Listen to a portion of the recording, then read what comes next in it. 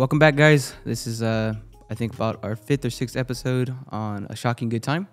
Today we have Abel from Valley Shenanigans. He's going to tell us a little bit about himself today, and we're, we'll we'll have some fun. This is Junior or Jose. He's going to be uh, we're going to be doing this podcast together. So, uh, Abel, tell us a little bit about, about yourself. Well, first of all, I want to say thank you guys for inviting me out to the podcast. Yeah, of course. Um, well, my name is Abel. I'm a founder of Valley Shenanigans, social media influencer slash content creator, and uh, I have a. I'm pretty much a. I started my. Uh, I want to say brand around 2016, 2017. I'm on pretty much every social media platform out there, Instagram, Facebook, TikTok, TikTok, Twitter, YouTube, all that good stuff. Nice, nice. Well, yeah. Thank, thank you for coming on as well. We appreciate your your you coming on to to the podcast. My pleasure. Uh, Yeah. I guess uh, first question is like, what got you into fishing? Like, what was what's uh what's the early uh, part of your story? I guess. Uh, Well, I started fishing uh, at a young age. I was exposed to fishing because of my father. I think I was like about seven, eight years old. He took me fishing with his uh, a bunch of his friends and, and cousins and stuff. And it was, I didn't really do any fishing. I just kind of more like more along tagged tagged along with them and uh, just uh, it was like that for a while. I would go on his fishing trips, his hunting trips. I come from a long line, I guess you could say, of hunter hunters and fishermen.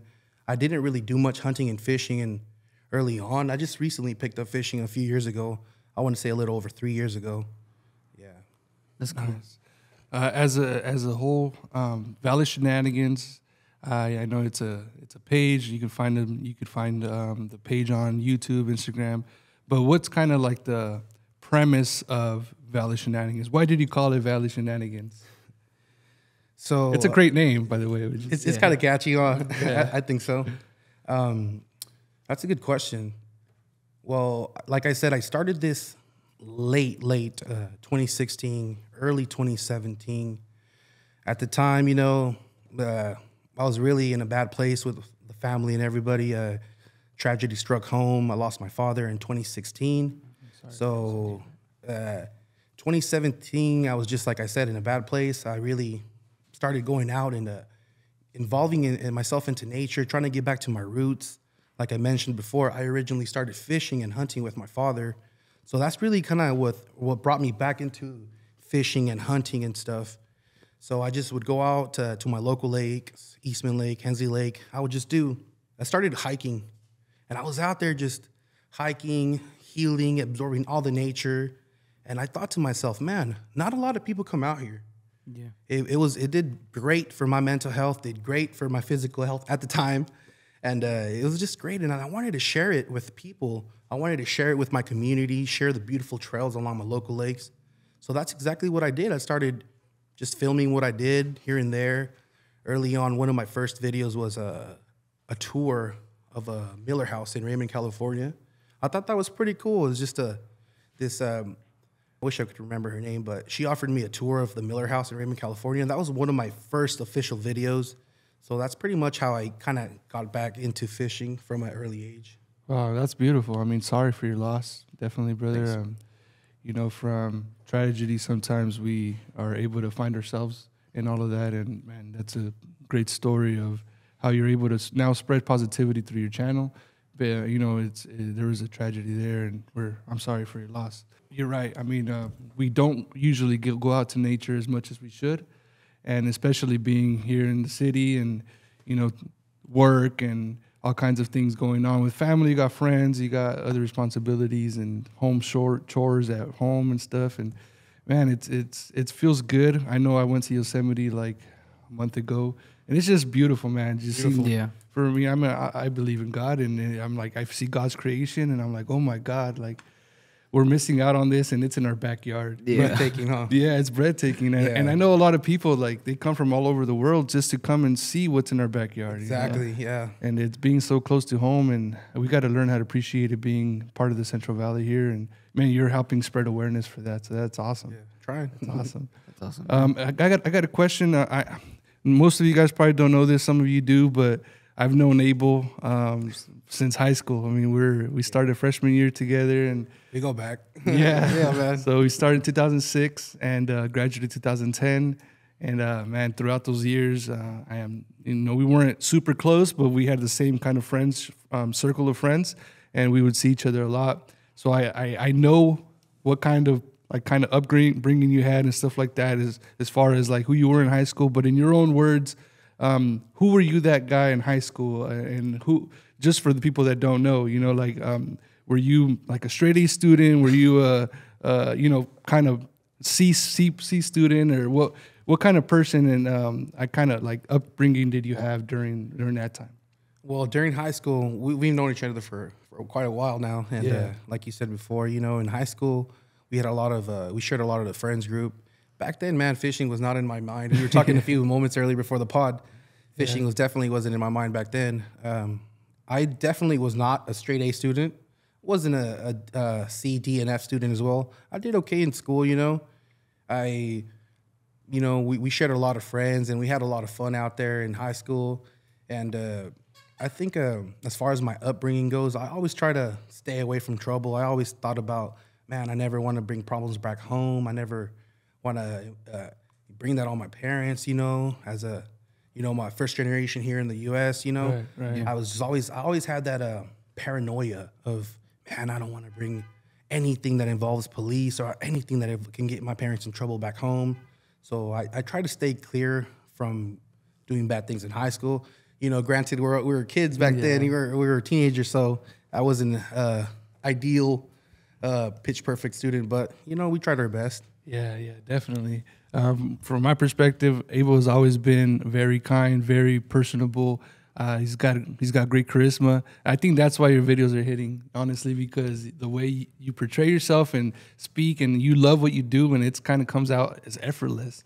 And you know, it, I, I know you put a lot of effort into it, but it's it's something that stems from the heart. I think that it it shows. You know, and uh, I feel like I think that's why you're getting a lot of traction, and it's going to keep on growing um, definitely I, I see I've seen the growth in you know three months four months that, that we've been actively following you pretty closely and it, it's been growing like a wildfire bro like I'm really happy for you Thank Um, you. I, I wish you you know very much success and I know it's just you're already successful but Uh, it's getting there. You know, it, like you said, it's picking up traction. You know. Yeah, definitely is. Definitely is. Um, I know that you started um, kind of offering these different services for the community. Um, one of those being that you, you have a guided kayak fishing trip. And um, just, you know, tell us a little bit about that. I know a lot of people would be interested in kind of booking something with you. Yeah, of course. So, like I said, I'm a social media influencer slash content creator, and with that comes, uh, you know, uh, a lot of people are watching. You know, at first, let me backtrack a little bit. So, like I said, channel started in 2017. I just uh, recorded some videos, took pictures. It wasn't until about uh, 2021, I want to say, right after COVID, uh, 2021 maybe, I want to say, that I started uh, fishing with my brother, you know, and um, ever since I would uh, fish, go out and fish, and uh, take a picture, throw a fish back in the water, and post it, and forget about it. It wasn't until uh, one of my videos did pretty well. It did. It got over like thirty-five thousand views, like over two thousand likes, and a few hundred shares. And that's when I like literally a light bulb popped in my head. Like, okay, people are watching. You know, I, I kind of I feel like I felt like I had a responsibility to put a, a bit a bit more of an effort into my content. So ever since uh, I just started trying to put a little bit more of an effort, and this was very recently. This was as of March. As of March, uh, I just made a few changes to how I uh, do my content creation, how I edit my videos, and how to how I social network. Before I had no clue what social networking was. I heard it all the time: social network, network with friends. But before that, I had no idea really what that meant or the extension of that. Back in March, started doing a few things different, and channel is picking up traction now. And uh, with that came getting a lot of messages from local viewers. Hey, I seen your video. If you ever if you're ever in this area, you want to go fishing with me? And sure. At first, I would fish uh, with a few a few people, a few locals. Started doing a few collaborations with other YouTubers, other local YouTubers, and I just eventually got so many messages with people trying to go fish with me that I said, okay, well, there's there's there's some there's a demand here. You know, people are watching the content. People are struggling to catch fish around my area. Some of the bodies of water in our area are very pressured by a lot of anglers, so it's kind of tough to get on some fish. So what I did, I noticed there was a demand, and I just started providing the, you know, what the what the people want. I gave the people what they want. Yeah. And uh, I've I've been lucky. I've had a few customers and uh, come out and book my services, and uh, some of them are okay with being on on camera. Some of them are not, and that's totally fine. I I asked them beforehand. Uh, you know, if they if they if they're okay with being recorded, that's part of the waiver that I have them sign before they book the services. If they want to be on the camera or not. If they don't, that's totally fine. For anybody that wants to book the services, you guys do not have to be on camera. Not everybody likes a camera in their face, so and I totally understand that. But that's pretty much how I started doing the the kayak services. It's because just the the demand the, that people were were that I felt from the people. So it kind of chose you, you know. Yeah, I guess in a way, yeah. I, I might have to. I might have to take you take you up on on, on your services, man. There's um, I I struggle with bass fishing, man. Oh, it's man. um, I got you, man. It's a it's a tough it's a tough thing, man. Like I I feel like in comparison to like trout trout fishing, it's a, it's pretty simple. You just throw the line out there and you kind of wait for the the trout to bite it. But with Mm. bass, I feel like you gotta with the worm and everything, you gotta drag it along the floor. Yeah, you got to finesse them Technique, sometimes. yeah. yeah. There's a lot of different techniques, a lot of learning. See, trout even. I'm more of a, I, a bass fisherman. Originally, I started uh, as a catfish and carp fisherman, got you. catching huge fish on very cheap gear. I made it a point to only fish with very cheap entry gear, nine ten dollar uh, combo from Walmart. I was catching double digit fish, huge fish. So I just wanted to see if I can do it with very entry level gear and just build from there. And uh, as far as trout fishing, man, I, I know it can it can get pretty difficult too. Yeah. Yeah. But- oh, I have a question for you then. Uh, As far as like your equipment and stuff, you said that you started out with entry level stuff. Like, what's the comparison? Like, the difference, I guess, is it is it make a big difference versus like something really expensive versus some a little bit cheaper equipment? Does it make a big difference, or do you do you see it, it all works the same? Mm, it just depends. Uh, like I said, I started with catfish and carp. Yeah. and uh, I did a lot of things wrong before I learned what I what I was supposed to do. But I was I wouldn't say I was okay at it.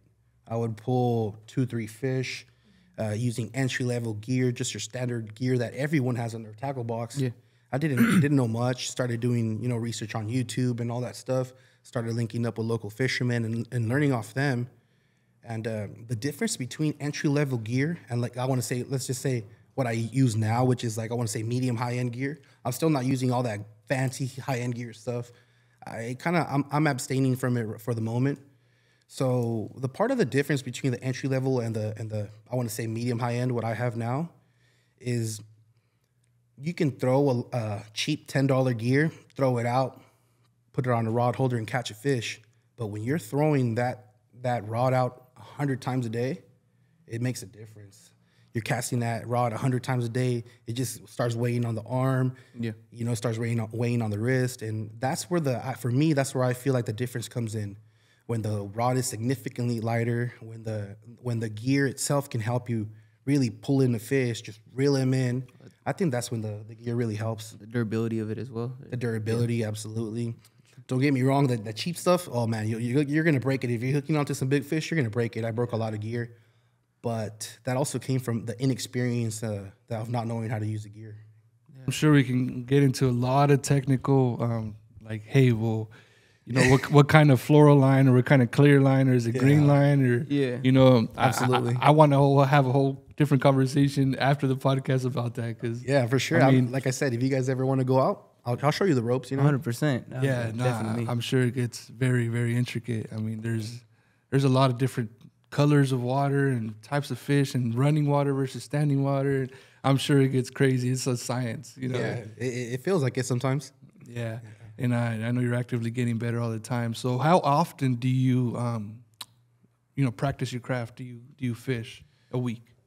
Well, I'm lucky enough that I'm able to fish uh, quite often, more than most people, you know. And um, I I would I want to say I fish probably at least two times a week. Uh, the weekends are are a lot better for me. If uh, now that I'm doing the kayak guiding uh, service here, I get booked throughout the week. Uh, I've been booked through in the middle of the week, so I do fish during the week as well. And yeah, man, Plenty of time to plenty of time to fish. practice your craft in and perfect it. Yeah. I mean, uh, on top of all the knowledge that I'm sure that um, your your parents and your grandparents were able to share throughout, you know, when you were smaller as well. Um, uh, it, it's helped me as far as um, my brother being older and him teaching me kind of the ropes and hey, this is how you tie it, this is how you do it not, this is how you do this, this is how you tie on this one, you know, this is how you rig up this. Um, so it, it, you know, it, it goes back, um, I think, to our foundation, like little little tips and tricks that they taught us, like now has helped us and and, and grown um, to in, into something better and greater. Elijah, Absolutely. sorry, cut you off. Yeah, no, no worries, man. Um, yeah, I was gonna ask you. I mean, did, as far as your fishing tours and stuff, um, what what does that include? I guess when you when you bring someone out, um, do you have a specific spot you already kind of uh, take them to, or you kind of mix, give it a a little bit of a mix up, or you do you, do you mix it up every once in a while? Take them to different bodies of water. How does that work? So let, let me start off by by uh, explaining what comes uh, included in the in the kayak uh, package here. Sure. So I have uh, paddle kayaks. There's a difference. There's a few kind of styles of kayaks out there. There's kayaks with motors, kayaks with a pedal drive, kind of like a bicycle thing in the, on the kayak. That, that, that's how you propel in the water. Yeah. And then there's a good old paddles, and that's what I have. I have a paddle kayaks, which is would be entry level kayaks, uh, and that's what I that's what's included in the package. It's a kayak, the paddle. I include two fishing rods. You know, uh, I include a tackle box with a whole bunch of lures. Some of the lures that, that I've been successful at, at, at certain spots, nice. and some some lures, some baits that are what you call specialty lures. Mm. Some of these lures aren't even available uh, to the public because simply because they're just out of stock. They've been out of stock for weeks, months and I'm lucky enough that I I'm lucky enough that I have a few companies that that that send me products, you know, and uh, I'm very fortunate, and uh, so I'm, that's how I'm able to have some of these products in my hands. And like I said, if you go to Tackle Warehouse, one of the biggest online stores for for fishing, some of these products have been sold out for weeks. Wow. And and so I include some of those products in in my in my lures, but mostly it's just the products that I lures and baits that I consistently catch with. Package also includes a small dry bag, just so you can put your phone, your wallet, keys, whatever you don't want getting wet. Uh, package includes a life jacket, PDF.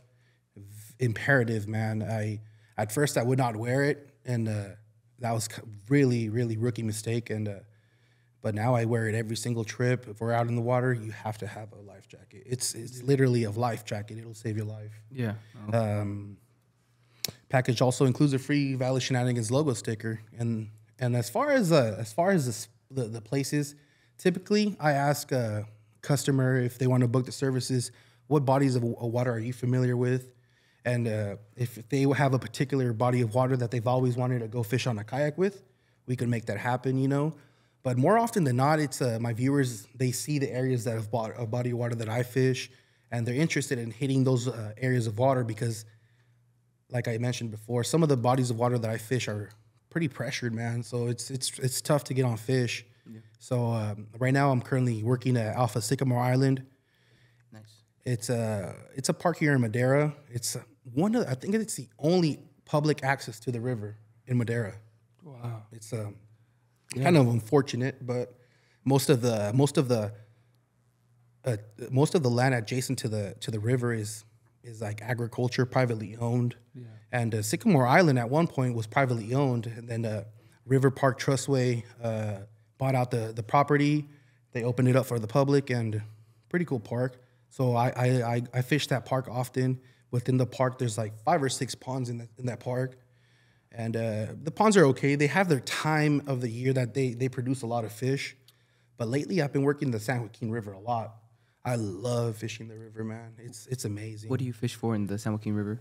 I currently I'm fishing uh, bass. Bass. Targeting bass. Yeah. Like I, when I first started, I would target carp and catfish there, but the river holds it uh, a plethora of fish. It's yeah. bass, catfish, carp. There's bluegill, crappie, trout, striped bass. Yeah. A few people caught, catch striper there as well. So but uh, Sycamore Island is going to close in November 10th, I believe. For, so for they closed down for winter. Oh, okay. They reopened back up in February. I was speaking to the to Bonnie from a manager of uh, Sycamore Island, and I, I think she said that this year they're going to stay open a little longer, November 10th, and they're going to open a little earlier, January. So that's pretty cool. Gives us more time out in the water. What's the reason for closing?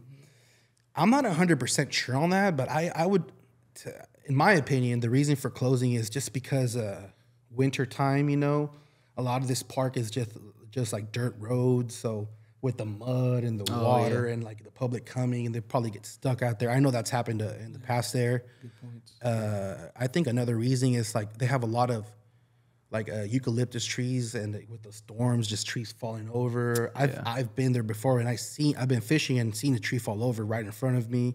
And it's just things that things like that that just happen in nature. And um, not to not to mention that the you know during rain season the the river goes up.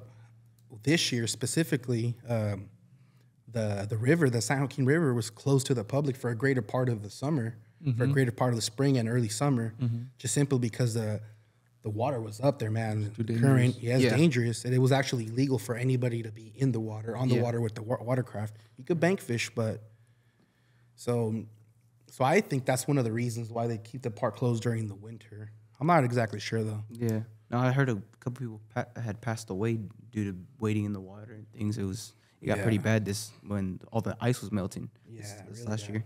Um, I guess I, I have another question for you, man. Um, tell me about a, a- an experience that you can remember off the top of your head, something that's either special or crazy that happened to you while you were fishing. Um, Maybe the biggest you- fish you had. Yeah. Or something. Tell us about your experiences. Well, uh, off the top of my head, just right now, a crazy experience that I had very recently. Uh, I want to say two weeks ago. Uh, maybe you guys have seen it on my channel. Uh, fishing with my son. T- pick up my son from school. I have my kayak in the car. We get to Sycamore Island to the spot, launch off, make it about ten feet out of uh, out on the water. Drop my keys in the water. Ooh, Park closed like in about an hour and a half. that sucks. and I'm stuck there with my son, you know, and I'm like, oh gosh, what am I gonna do? At least you ain't going hungry there.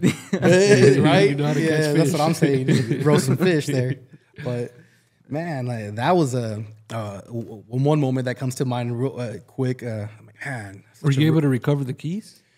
No, I was not. Um, Like I thought, dude, it was it was so crazy because typically I put my keys in my life jacket pocket or my dry bag, but that day just had them in my pocket and. I was just with my son, made it 10 feet off the bank. I probably dropped them in like 10 feet of water, you know? and uh, I, I seen the keys go down, you know, kind of like a movie, super slow motion. Should I jump? Should I not? Eh, Dude, that went through my mind. I'm like, oh, should I jump? No, I can't do that. I have my son on the kayak. I cannot. If I was Yeah, alone, I would have gone after those keys 100%. Yeah. I would have gone after those keys, but I would have just jumped after the keys, and I probably would have got them too. But they went down to the to the to the bottom of the lake there Yeah. or pond. I had to call a locksmith uh, come make me a key and get out of there. You know, I, had- I had my son. I, I couldn't couldn't do much. I thought about going to the bank and swimming out for them. I couldn't do that. I couldn't leave my son out there. So yeah, yeah. yeah, that's one moment that comes to mind. Yeah, that's man. That's that sounds like it, it sucked. Well, man. hopefully there's not much of the more of those. Yeah, hope not. I see you have a, a Monterey Bay Aquarium. Do you do you, uh, pin? Do you do you uh, do ocean fishing? Like, do you do anything? Like I, that? I have. I'm, I I love the aquarium, man. You know, big time. Every time we go out there to Monterey, we go to the aquarium. You know, I've I filmed a few. I filmed a tour of the aquarium for people that don't haven't gone to the to the aquarium. Yeah. that that content did pretty well. And uh, I I do every time I go to the bay, I for sure will take some rods with me. I have to, you know. And I I've never been successful. Never been successful out there, just simply because I go every sporadic. You know, It's So different. It's, different. You got to. Yeah. There's a learning curve there. yeah. Uh, my brother, though, however, real lucky. He, he's been able to land fish out there. So What did what do you try to fish for when you go out there? pretty much whatever, man. I, I, I like I said, that's totally different. That's out of my wheelhouse, man. That's a totally different ball game. So when I go out there, I all throw like shrimp, calamari, you know, yeah. All the Local good stuff. then. All the good stuff, man. The Stuff that good I- over yeah. I, but I don't know what I'm doing really out there. You know, it's different, man. It's like- Every- every cast is stuck, bro. Every cast is I don't know. I, don't, I don't know really what I'm doing when it comes to What do they call saltwater that? fishing. That water between the ocean and the Surf the like the brackish water. or brackish water. Right, Yeah, right. yeah, yeah. It's between salty and fresh. Yeah. Yeah. yeah. They got the sturgeon and Yeah, I gotta do some of that. salmon and all that. Right, right there out of um, Pismo, like in Avila area, there's a lot of bra- bra- brackish water, I guess, and there's like there's trout that are a little farther up, but it's they stop it like once you get closer to the, the ocean, obviously. But um, like right there in Pismo area, I've, I've heard that there's people like they'll they'll fish for like stingray and things like that out there, but that's pretty dangerous to do. It's um yeah, I I wouldn't do that. That's for sure. I know that the river here, San Joaquin River, it's got big fish in there. Yeah. I, know that there's big fish in there. Yeah, absolutely. Yeah. Have you ever fished the aqueduct? Yeah, I was just there this morning. Yeah. Oh, nice. Uh, uh, Stri- Striper? uh, we were trying to get on some striper, but we had zero luck with the striper. Um, noticed that the water was moving a little slower than usual out at the aqueduct. Clarity, water clarity is a little better. Dude, today was a struggle day, man. I had a few bites, almost got a fish, seen him bite my lure, about to set the hook, but just let go of my bait. One of my buddies, I was I went out there with one of my buddies, and he was able to get on a small fish. Luckily, you know, because it was a mm-hmm. it was a tough day right now. You use lures or do you? it's a oh, long drive oh, too. yeah, I know. Go out there to skunk, you know. Yeah, it's a it's a it's an hour drive out there, hour back. So it's it kind of it, it's like that But even a bite is already enough for some people. For me, I mean, at least, I mean, like even like bite. Sometimes I don't get a bite, and Yeah. and, I mean, I don't go as much as, as you do, but um, whenever I do, I'm like, at least want to bite, at least, you know. it's just- cool that like I said, I I seen uh, I was throwing a spinner bait. I seen a a small bass, probably 14 inches, come up to it, actually bite it and let go. It's amazing how these fish will bite hooks and just not hook themselves. Yeah, you know it's um, man, I had I had a couple experiences out at the aqueduct. Man, we we used to fish it at night, and it gets scary out there at night, man. Oh yeah. Yeah, there's a especially now, lot Mendota and Los Baños. It's kind of secluded area, so you don't Yeah. know what kind of people are going to be out Exactly. there. hundred percent. It was yeah. There was one night, man. We we were out there at the, at the aqueduct. We were at Five Points, uh, so we were we were out there. We were fishing, and um, we seen somebody pull up in a in a truck, and they literally just backed it into the water and just left. Like that was just a crazy experience. We didn't know what was going on. They just dropped it off and just they pushed it in the water and left. It Wow. was some crazy stuff out there, man. Yeah. I know they do a lot of like shooting out there too, but I mean, he, here in uh, around Firebaugh Mendota area, dude, they, they found cars inside there. You know, yeah, they just find well how, how they find the cars is because someone doesn't come back home and they know they're fishing out there and they've pulled whole cars out of that area Yeah. it can get dangerous out there for sure there's Yeah. multiple factors why it can be dangerous out there yeah, Yeah, I, I know. I have nephews, and and a lot of those times, like they couldn't go just because it's so dangerous because the the steepness of the Oh, that too. oh yeah of the sides of the aqueduct. I mean, if you know you slip a little bit, you ain't getting out of there. If, I, you know. I've had friends fall in man Yeah. and they've had to swim like about a thousand feet to the next ladder Yeah. Wow. and Yeah. and that's like I mean not everybody can swim a thousand feet in Right. in cold water and fast moving water you know especially kids. I mean, especially kids yeah it's it's I wouldn't take my son there you know that's for sure Yeah, my, my pops, if he was on here, he'd be talking to you about that. He fell in one time. Um, it was it was on Thanksgiving Day. He uh he was out there with the with my with my uncle, and um he fell in, man, and he had to swim. He had to swim, and he he got hold of a little crack in the concrete on the side, and he was just holding on to it. And then he ended up falling in again because of the moss. You know how it grows on the side. oh, so it's all Yeah, yeah, slippery, very yeah. slippery, Yeah. slippery. it's it's insane. Uh, it can be an insane experience if you if you don't do everything Yeah. correct, man. It's you got to be careful out there. Now we got we, we got to go we got to go out on on the, on the water with you sometime, man. It's a must, man. I got to get some bass. I've only caught like two in my whole life, so I let's want make it happen man Yeah, no, for sure we'll be hitting him up. Um, but yeah, follow him on Instagram, guys. His uh, Instagram name is Valley Shenanigans. Uh, yeah, pretty sure he's gonna be continuing to post content and stuff. So, uh, shout out to you, man, and uh, yeah, wish you nothing but success. Hey man, thanks for having me, guys. Follow me on Instagram, Facebook, YouTube, Twitter, TikTok. I'm on there on all the social medias. You know, I post new content daily. Sometimes I post multiple content daily. Just go ahead and give the give the channel a follow, man. Uh, it's, it's good stuff, guys. Really, really entertaining stuff. I mean, it's local for anybody that's here. For everybody that's not local, you get to see something outside in you know different part of the country. So I think that it's um it's it's something that's very interesting to a lot of people.